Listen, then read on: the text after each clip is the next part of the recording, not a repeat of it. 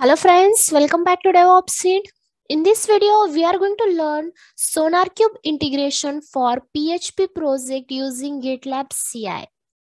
So here, firstly, here you can see, here I'm using droplet of DigitalOcean. So you can see this is Ubuntu droplet and in Ubuntu droplet, we are going to install GitLab runner and PHP. Then secondly here you can see this is my repository with the name php project. In my repository i have few files. And here you can see this is php project. Then here you can see this is my SonarQube dashboard. And in my SonarQube da dashboard here i have four project. You can see the number of project. So then now the first step is uh, we are going to install GitLab Runner on our DigitalOcean droplet. So firstly, here you can see this is the official page of GitLab Runner. Now we are going to install GitLab Runner from here. So if you scroll down, here you can see the first step, uh, add the official GitLab repository for Ubuntu. Now we, we are going to copy the command. And here you can see here I'm using MobaXterm to connect my Ubuntu terminal. Now it's done. Now clear the screen. And now the next step is install the latest version of GitLab Runner. For Ubuntu, you can say the command. Now copy the command.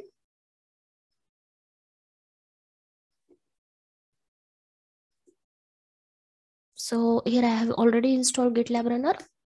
Now, if you want to check the status of your GitLab runner, then run the command sudo GitLab hyphen runner status. So you can say service is running.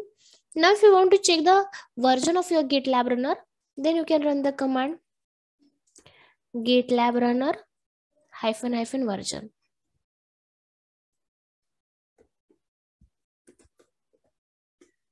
So you can see the details of your GitLab runner. Now clear the screen. Now the next step is, if you scroll down here, you can see the fourth step, register a runner. So before register runner, you need to run this command sudo visudo. And here you can see in user privilege specification. So here we are going to add two lines here. Firstly, copy this line and then the first line for GitLab runner, GitLab hyphen runner, then okay.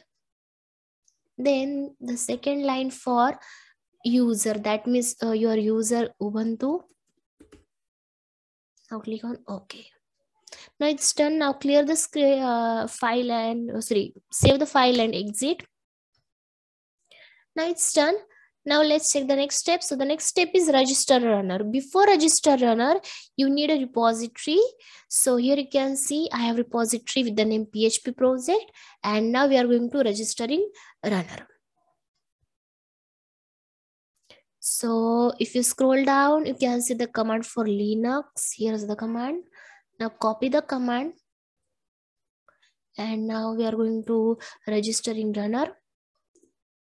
And here it will ask enter the GitLab instance URL, for example, like this. So for that, firstly, you need to go to your repository, then settings, then CI CD.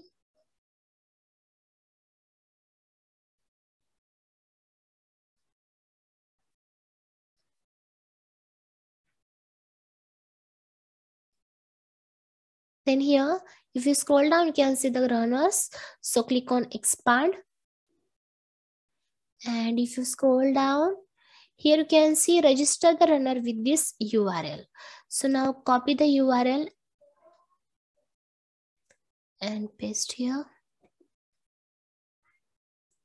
Then registration token. So here the registration token.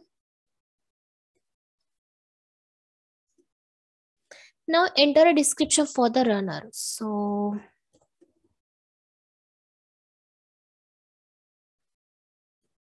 my runner then tags then executor.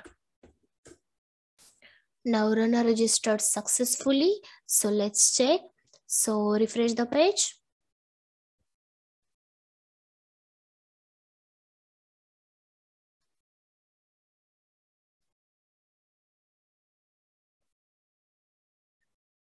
Now, if you click on expand,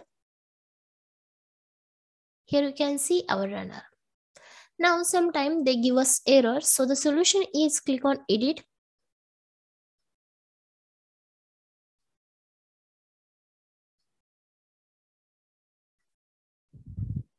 Then here, check indicates whether this runner can pick jobs without tags, then save changes. So now it's done. Now let's check the next step. Now the next step is install PHP. Uh, so now firstly, you need to install a required package on your system. So firstly, run this update command. Now we are going to firstly update our system package. So clear the screen. And now firstly, we are going to update our system package. So you can see the command to install uh, to install PHP 8 on our Ubuntu droplet. Now firstly clear the screen.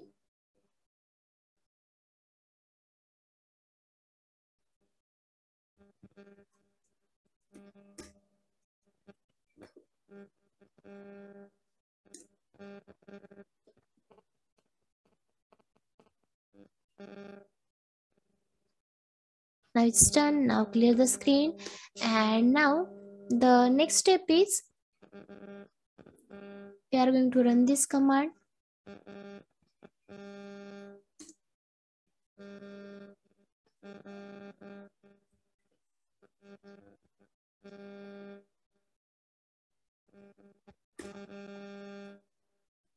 So yeah, it's also done.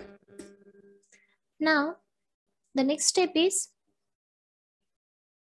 enable PPA. So for that, we are going to run this command.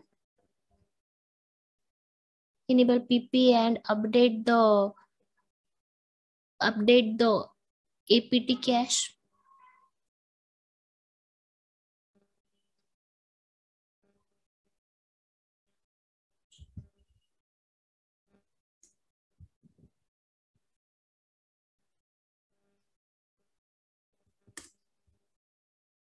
Press enter to continue.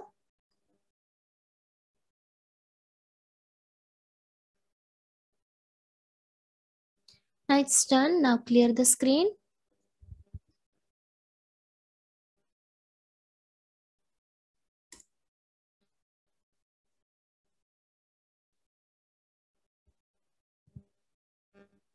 And now the next step is install PHP. So copy the command. And now we are going to install PHP on our Ubuntu droplet.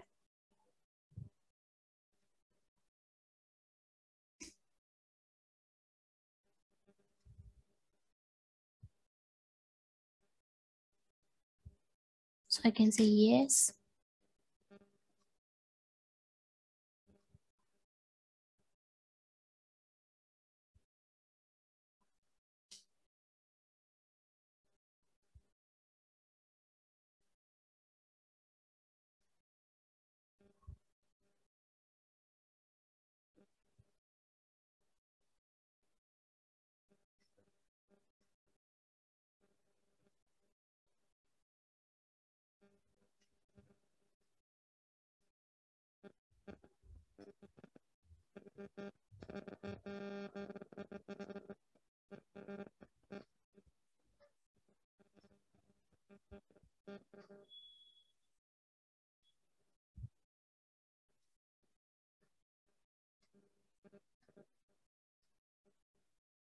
Now it's done.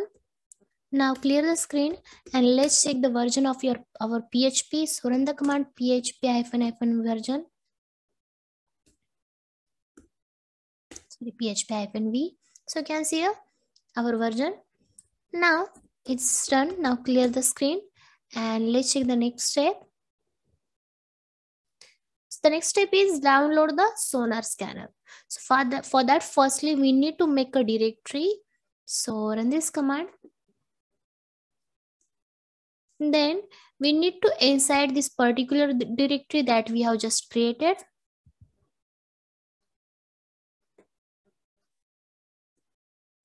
Then now we are going to download sonar scanner using wget command.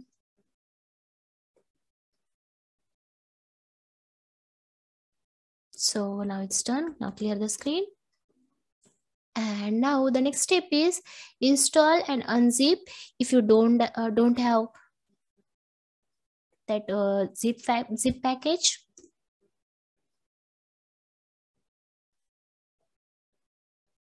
Now it's done. And now we are going to unzip this uh, sonar scanner zip file.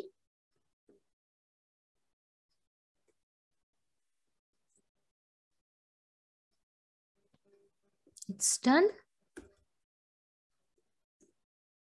Then now we are going to move to this slash opt directory.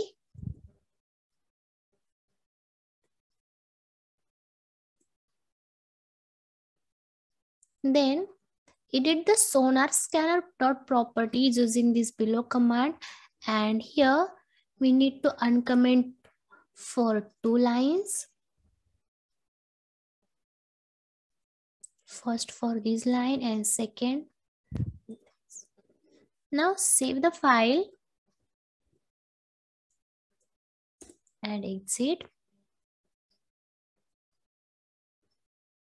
Then second for the next step is create a file to automate the required environment variable configuration. So for that firstly we are going to create this file and in this file we are going to add these two lines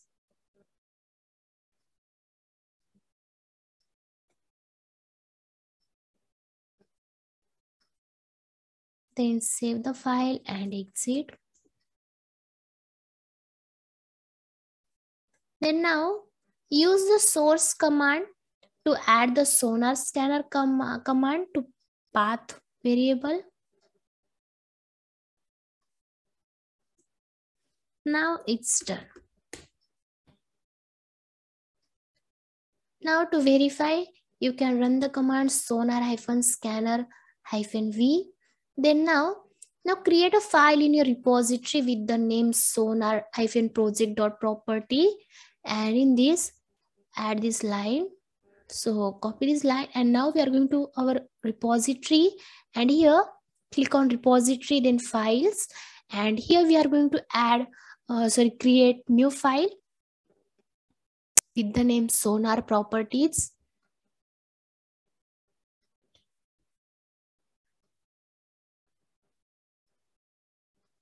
Now here click on this plus icon, then new file.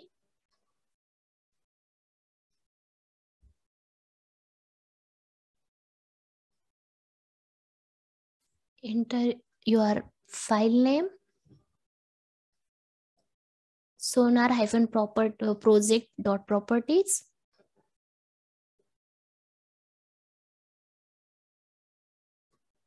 Now here you can see sonar project keys. So our project key is DevOps in PHP. Otherwise here, just simply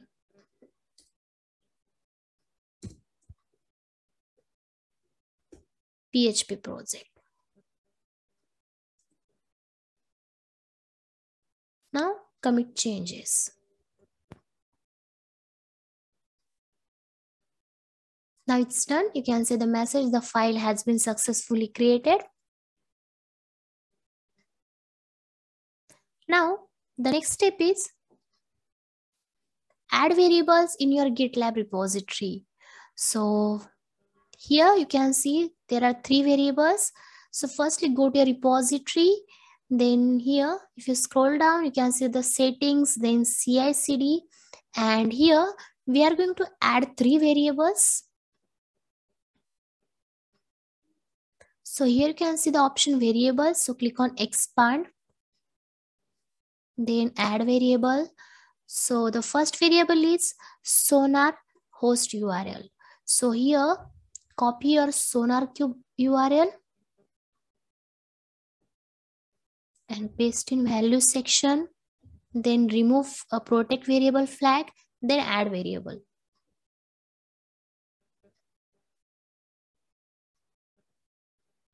Then the second variable for sonar login, that means your username.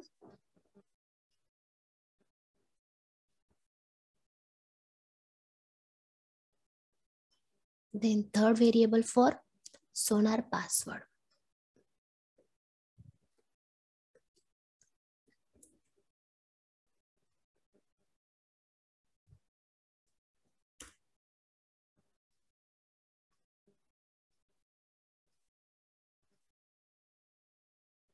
Now it's done. Now let's check the next step.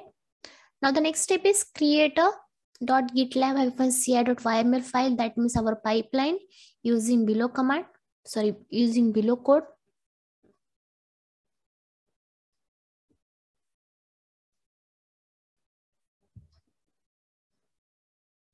Now click on repository, then files,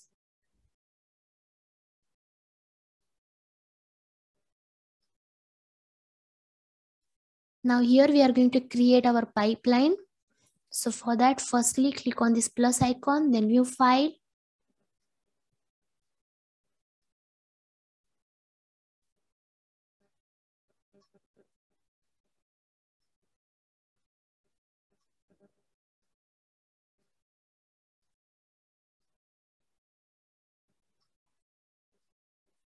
Now here you can see our image that PHP latest, then variable, then paths in sonar cache then script. So in script you can see the host url that uh, uh, we just uh, add in our variable then sonar login then sonar password. And uh, if you don't want this only tags then you can remove this only tag for uh, the, the uh, this pipeline run for only main branch. So you can see in comment or the name of your branch, main branch. So if you don't want, then you can remove. Now click on commit changes.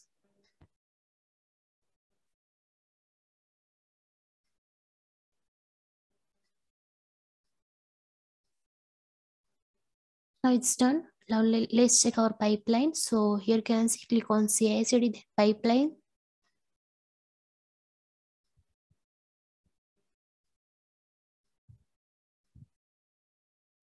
So you can see, you see it's running. So let's check.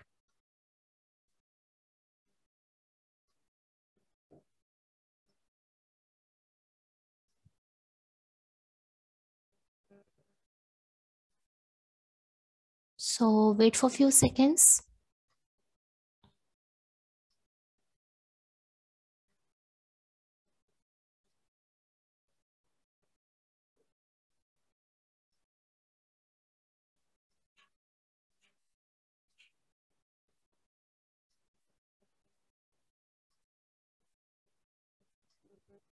So you can see the message, job succeed. So let's check in our SonarQube. So you can see here, this is our SonarQube dashboard. So refresh the page and our project key name is PHP project. So let's check. Mm. Here you can see PHP project and you can see here it's passed so it's done so in this video we have learned SonarQube integration for PHP project using GitLab CI. So thank you for watching our video. I hope you like the video and it's helpful to you. So please like, share and subscribe our DevOps channel.